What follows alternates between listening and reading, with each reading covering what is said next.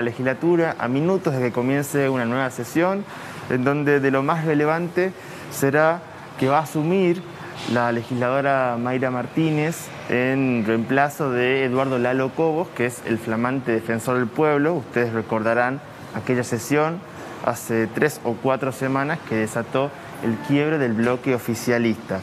Bloque oficialista que tendría, me refiero al oficialista que respondería al gobernador Juan Mansur, tendría, y ahora un potencial porque bueno, estamos ahí, pero de eso vamos a hablar con el entrevistado, un nuevo integrante pasaría de tener 14 miembros a 15 y ese integrante sería de la oposición, hasta hoy oposición. Hablamos de Federico Mazo, quien integra un bloque personal, pero que venía acompañando justamente las votaciones del sector que responde al intendente Germán Alfaro.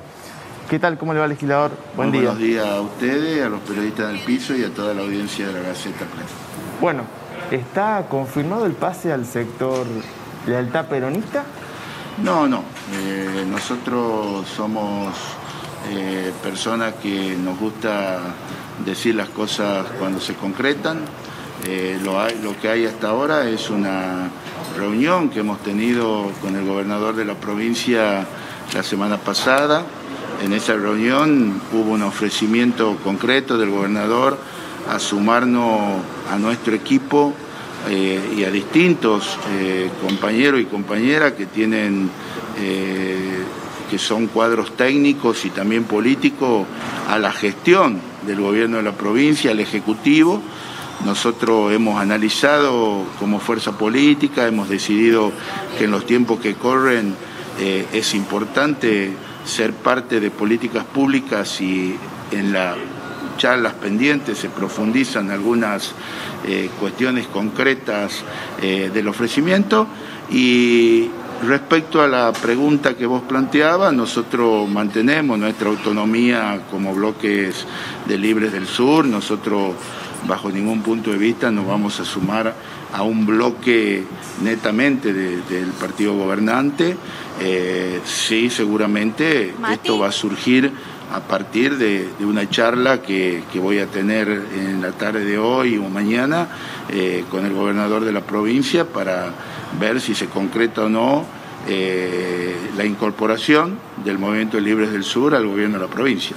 Bien, le quieren hacer una pregunta desde el estudio. Gaby, te escucho. No, consultarle si el ofrecimiento ha sido específicamente pasar a formar parte de las gestiones del Ejecutivo, ¿no? Del, se, se habla y se ha hablado en las últimas horas de la posibilidad de que esté en el gabinete de Mansur.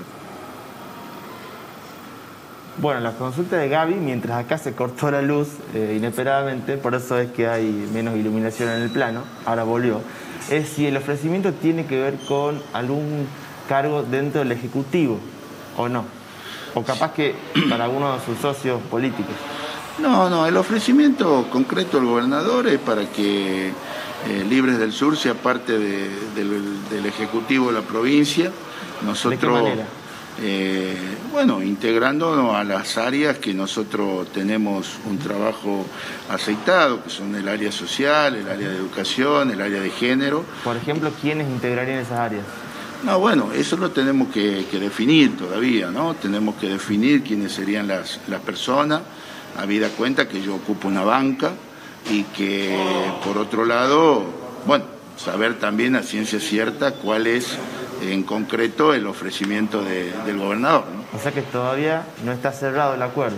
No, no, está avanzado, no está cerrado, tenemos que seguir profundizando el acuerdo y a partir de eso, bueno, tomar una decisión. La decisión que tomó Libres del Sur es que de haber un ofrecimiento concreto, como nos ha planteado el gobierno, y esos lugares que nos plantea el gobierno, están a la altura de lo que nosotros creemos que podemos ser parte, eh, vamos a aceptar el desafío porque creemos que se viven tiempos muy complejos. A concretar, si es que hay eh, un cumplimiento por parte del Ejecutivo de los cargos que usted pretendería en áreas sociales. Ahora, estamos hablando de eh, secretarías de Estado, estamos hablando de cargos menores, cargos superiores. Un adelanto, ¿qué, qué sería? No, mire, eh, el gobernador nos, reitero, nos hizo una propuesta de sumarnos al gobierno, algo que nosotros hemos aceptado puerta adentro, nosotros vamos a esperar esta tarde eh, cuáles son las propuestas concretas del gobernador de la provincia y en cuanto sepamos esas propuestas y si llegamos a un acuerdo, los primeros que van a saber es el periodismo porque no nos gustan los trascendidos. Eh, somos una organización eh, política que siempre ha valorado el trabajo de la prensa y que también nos gusta hacer en estos tiempos difíciles actuar sin ningún tipo de especulación. Así que los cargos de alguna manera son importantes, pero también nosotros queremos saber cuáles son realmente los cargos para de alguna manera ofrecer los nombres de los hombres y mujeres que ocuparían esos cargos eh, para que estén a la altura de las circunstancias. ¿Qué lo sedujo de esta posibilidad y qué lo dejó de seducir del espacio del intendente Germán Alfaro? No, mire, nosotros eh, siempre hemos valorado que los grandes problemas estructurales que tiene la provincia, que tiene el país, se los soluciona desde las políticas públicas. Por eso siempre hemos aceptado desafíos en el Ejecutivo Provincial, desde el 2004 al 2009, hemos eh, estado en la función pública municipal y ahora creemos que es muy importante ser parte de, de, un gobierno en un momento tan difícil. Eso es lo que realmente nos seduce a una fuerza que tiene un trabajo social muy importante y que sabemos y somos conscientes y nuestros dirigentes, nuestros militantes, nuestros afiliados, siempre nosotros le planteamos que los verdaderos cambios, la profundidad de los cambios para llevarle una mejor calidad de vida a los tucumanos se hacen a través de las políticas públicas. Uno puede tener el trabajo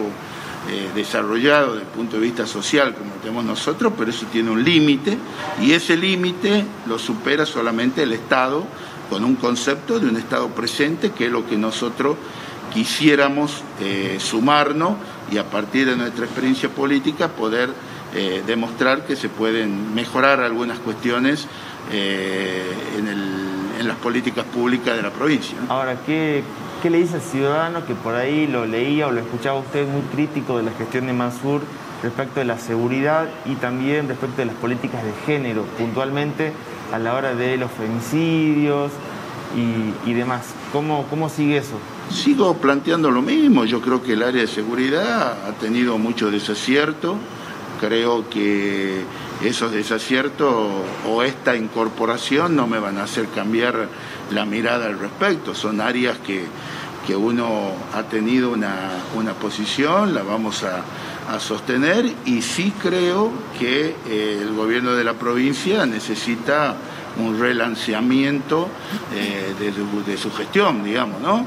Pero bueno, son decisiones que no pasan aportaría, por, aportaría por, claro, por Libres del Sur, sino que pasan por decisiones que la toma el gobernador de la provincia, como en el caso nuestro, que nos hizo este ofrecimiento para tener que debatir durante los últimos cuatro días puertas adentro de, nuestro movimiento. hay consenso? ¿Hay consenso para el sí? Sí, hay consenso. Nosotros somos una fuerza política que definimos las cuestiones en forma colectiva. Hemos aceptado este desafío de ser eh, de la propuesta que nos haga hoy eh, o más tardar mañana a la mañana el gobernador y a partir de eso, bueno, eh, tendríamos que reorganizar nuestro trabajo para poder de alguna manera cumplir puertas adentro de, nuestra construcción política y también el desafío que nos dé la presencia en el Estado provincial. ¿Habló con Alfaro en las últimas horas? No, no he hablado con Alfaro, tengo una, una reunión pendiente con el intendente de la capital.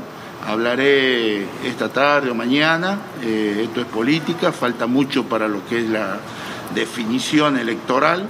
Eh, esto es una decisión nuestra de incorporarnos a un ejecutivo provincial y charlaremos con él con la franqueza que venimos charlando desde el año 2015.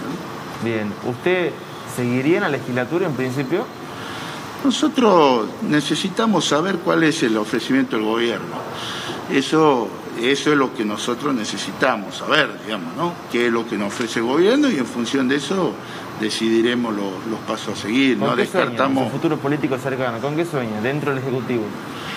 Mire, eh, para mí es muy importante, siempre he sido un barrero de, las políticas públicas y del Ejecutivo, eh, eh, pero eso también hoy tengo una responsabilidad que me ha dado la sociedad de ser legislador de la provincia y también debo pensar puertas adentro de mi persona y también lo hemos visto a nivel partidario, que es un lugar importante, que, lo hemos llegado con mucho sacrificio y que también tenemos que pensar en, tomar licencias si esa es la, decisión o la envergadura de lo que nos propone el gobierno de la provincia. Muchas gracias. Muchas gracias a ustedes como siempre. Bueno, hasta ahí entonces la palabra del legislador Federico Mazo explicando un poco sobre estos movimientos que se vienen hablando en el ámbito político. Para quienes no están interiorizados, recordamos, él forma un unibloque aquí en la legislatura que hasta hoy venía acompañando todas las posturas del bloque Partido por la Justicia Social, que responde el intendente de la capital, Germán Alfaro, que pertenece a la oposición y que es opositor al gobernador Juan Mansur, al menos por ahora.